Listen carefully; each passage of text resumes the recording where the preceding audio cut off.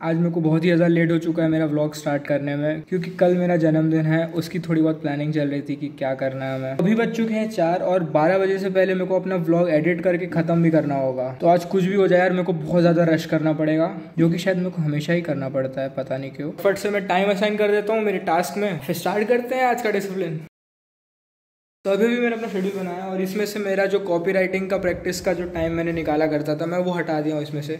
Because I feel like कि I am juggling बहुत सारी बॉलें एक साथ। तो इसलिए मैंने इसमें से कॉपी राइटिंग हटा दिया है। मैं सोचा हूँ कि ग्राफिक डिज़ाइनिंग जब मेरी पूरी हो जाएगी तो मैं उन दोनों की प्रैक्टिस साथ में करा करूँगा। मैं कहाँ जाऊँ? साढ़े पाँच बज गए और मैं अभी तक अपना व्लॉग स्टार्ट नहीं कर पाया हूँ, क्योंकि मैं अपने बर्थडे की प्लानिंग कर रहा हूँ। पता नहीं क्यों। हर एक दोस्तों को कॉल कराया और मैंने पूछा कि भाई तुम्हें ये चलेगा ये चलेगा ये चलेगा। यही कर रहा हूँ मैं सुबह से। और मैं अभी तक अपना ब्लॉग और डिसिप्लिन स्टार्ट ही नहीं कर पाया हूँ। कि मेरा बर्थडे कल है तो मेरे दोस्त लोग इंसिस्ट कर रहे हैं कि आज रात को ही तू पार्टी रहा क्योंकि तेरा बारह बजे हम लोग सेलिब्रेट कर पाए तेरा बर्थडे पर मैंने सोचा था कि मेरे बर्थडे की रात को हम लोग सेलिब्रेट करेंगे। But the thing is I am a marketer and I have to be market oriented मेरे को पब्लिक की सुननी पड़ेगी, मेरी नहीं। तो अभी बज रहे हैं साढ़े पाँच और मेरे को मेरा पूरा शेड्यूल फॉलो करने का बाकी है। और उसके साथ ही साथ मेरे को सैलून भी जाना होगा, क्योंकि मेरे को अपनी बियर्ड सेट करानी पड़ेगी एंड थोड़ी बहुत साइड पार्टिंग करानी पड़ेगी। दिमाग का वहाँ ज़्यादा चलाना चाहिए।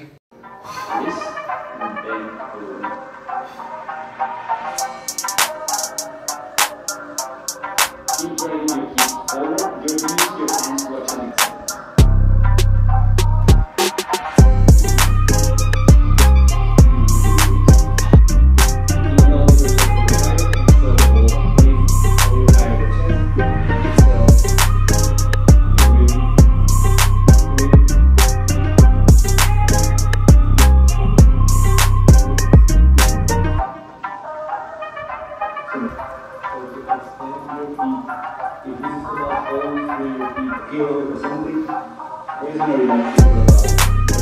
आज का वर्कआउट तो कंप्लीट हुआ, मैंने जो भी उसका इंस्ट्रक्शन देता था, वो मैंने स्किप कर करके जल्दी जल्दी जो भी एक्सरसाइजेस थी, उन्हें कर ली। और अभी नहाने का भी कोई मतलब नहीं, क्योंकि मेरे को सैलून जाना है।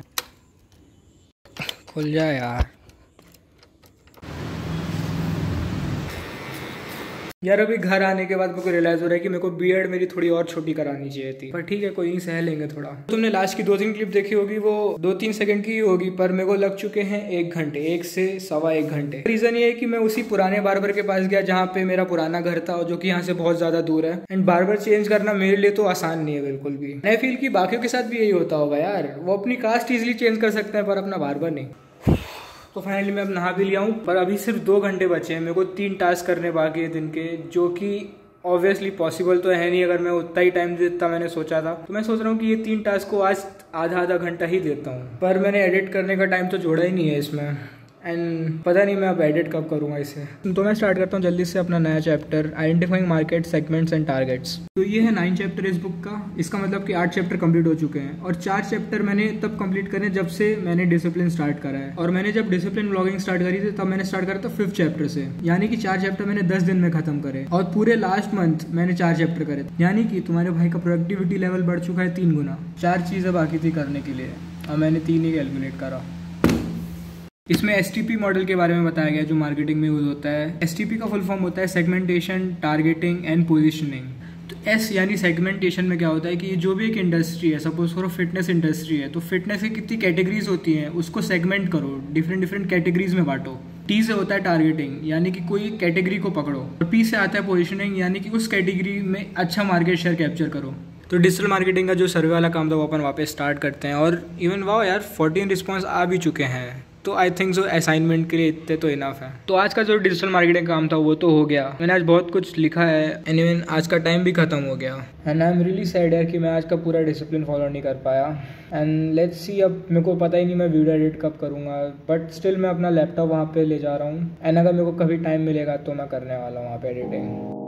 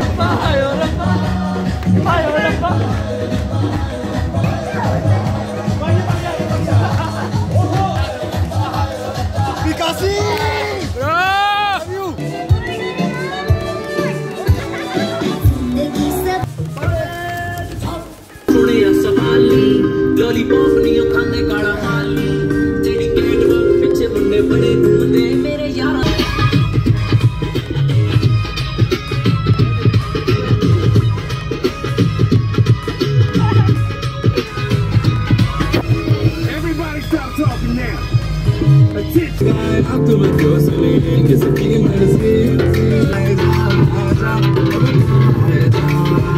मेरा भाई जतिन। हैप्पी बर्थडे ब्रो भाई अलग ही वाइब है यार। बहुत ही ज़्यादा अच्छी वाइब है यहाँ पे। बोल क्या बोलना चाहेगा मेरे ब्लॉग में बता।